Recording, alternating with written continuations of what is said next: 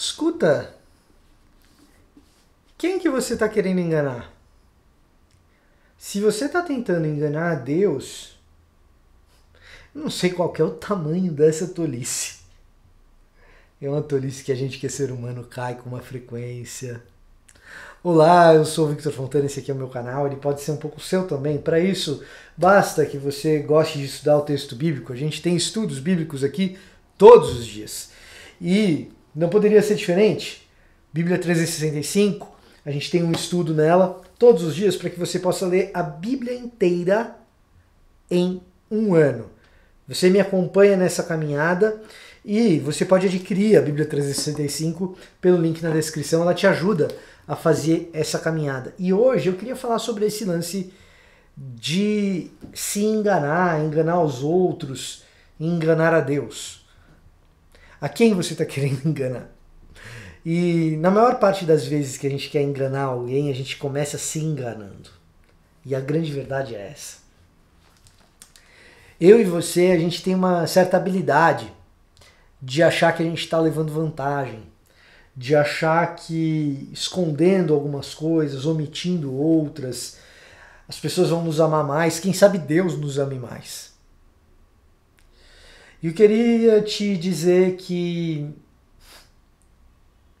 Deus não pode te amar mais do que ele já ama. Ele já deu o filho dele para morrer por você. O que mais você quer? O que, que você acha que você pode fazer para que ele te ame mais? Não. Ele já te ama, mesmo sabendo os pecados que você ainda vai cometer. Então, Pare de se enganar e pare de enganar a Deus, pare de tentar enganar o seu próximo. Tudo isso, no fundo, no fundo, é auto-engano. Auto-engano é um mecanismo que a gente usa o tempo todo. Sabe aquele relógio que você dá uma adiantada nele para que você fique com um pouco mais de pressa e não chegue atrasado? Conhece alguém que faz isso? Você mesmo faz isso? É como se você estivesse se auto-enganando. Você sabe que o relógio não está daquela. É, é, não, não tá no horário certo. Mas quando você olha, dá aquele sustinho, você fala, não, vou um pouco mais rápido porque eu estou atrasado. É auto-engano puro. O problema é quando a gente faz esse tipo de coisa com a nossa espiritualidade, que no fundo a gente sabe que Deus sabe que a gente errou, mas a gente continua não confessando os nossos pecados, a gente continua escondendo como se Deus não soubesse. Daí que a leitura do texto de hoje é tão importante. Salmo de número 32. Salmos 32, a partir do versículo 1. Como é feliz aquele cuja desobediência é perdoada, cujo pecado é coberto. Não diz como é santo, não diz como é espiritual, não diz como é grande entre os crentes não diz como é inteligente. Não. Diz como é feliz. Não adie a sua felicidade, meu irmão.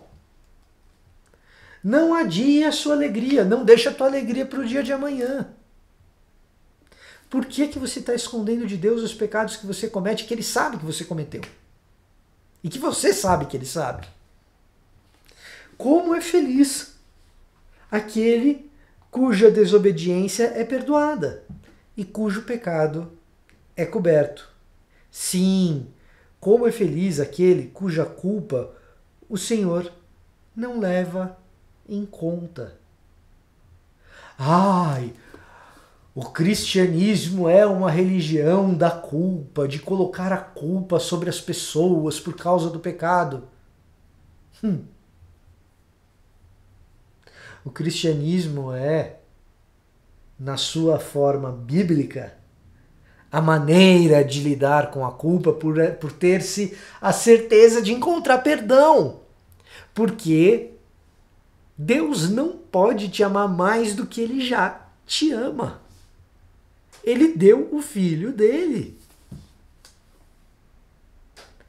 Ai, será que Deus vai me perdoar? Ele já perdoou, já conhece o que você vai fazer, meu filho. Ai, mas eu não consigo me perdoar. Se Deus quer Deus, já te perdoou. deu o seu próprio filho por você.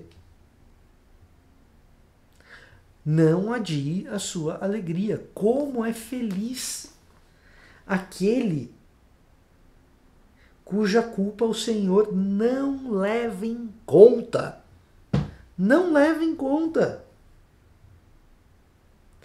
Cuja consciência é sempre sincera.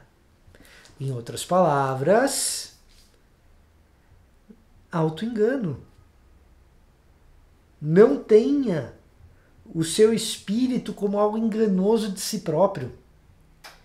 Nem você internamente achando que você pode esconder o seu pecado de Deus, nem a vida de plástico que muitos crentes levam.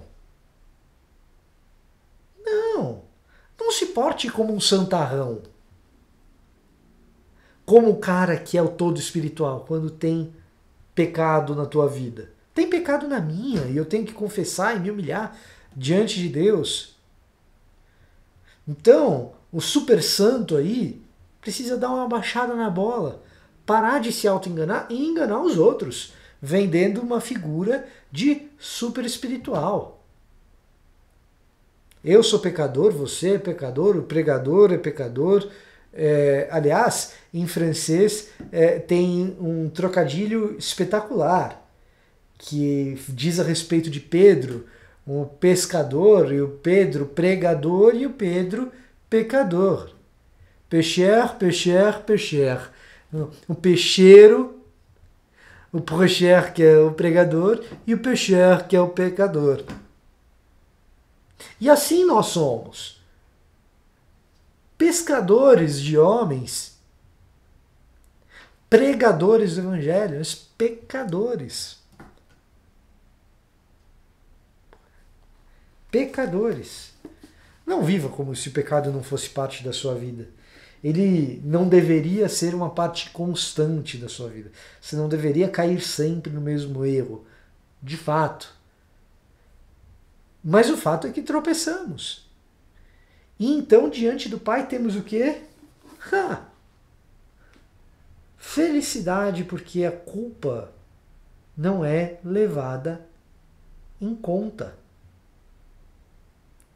Enquanto me recusei a confessar o meu pecado, meu corpo definhou e eu gemia o dia inteiro. Não se recuse a confessar o seu pecado. Vá diante de Deus e diga: errei, fiz isso, isso, isso, e viva a libertação da consciência tranquila.